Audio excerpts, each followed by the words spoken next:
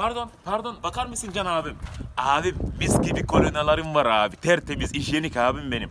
Alır mısın canım abi? Ben kolonya kullanmıyorum. Ben parfüm kullanıyorum. Ya abi deden zamanında parfüm mü vardı ya be? Deden ebeni ve nineni kolonya ile düşürdü be. Ya saçmalama müptezel. Yürü git almıyorum ya. Oğlum gün gelecek hepiniz benim kucağıma düşeceksiniz lan. Ya bir çorba paramız çıksaydı bari be. Uf. Vallahi piyasa çok kötü ya. Lavaboya gidiyorum dedi daha gelmedi ya. Ay bu sıra niye ilerlemiyor ya? La kardeşim birbirinizi ezmeyin lan. Hepinize yetecek çok kolonyam var oğlum. Bir sakin olun ya. Bir adam akıllı durun. Vallahi satmam ha yoksa. Satmam yoksa. Allah Allah. Ya oğlum şu tipe bak ya. Senin ne işin var bu sırada ya? Seni virüs bir görse var ya dayı sana girmez. Bana girer la.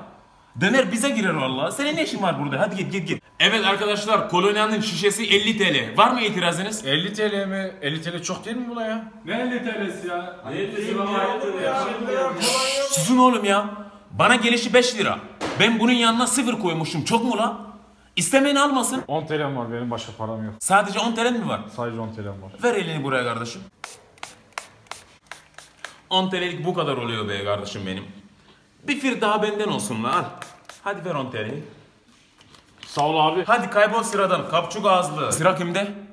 Sende değil mi kardeşim? Hadi sen gel içeri gel.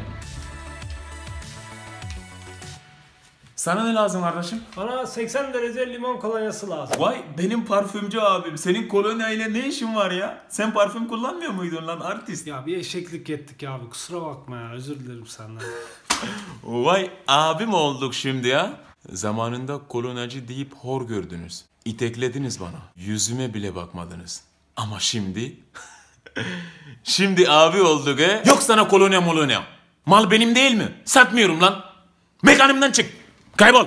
Sırada kim varsa gelsin. Hadi gel kardeşim. La oğlum biraz hızlı yürüsene ya.